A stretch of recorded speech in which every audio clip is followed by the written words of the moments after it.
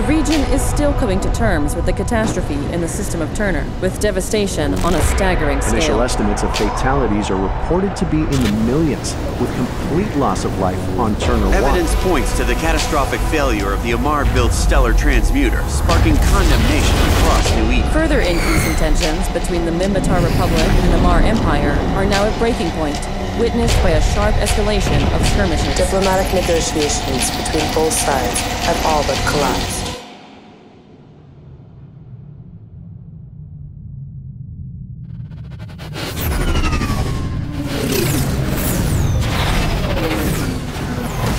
Broadcasting live with shocking scenes of Federation ships invading Intaki and neighboring systems, this is a major developing situation amidst the current turmoil in New Eden.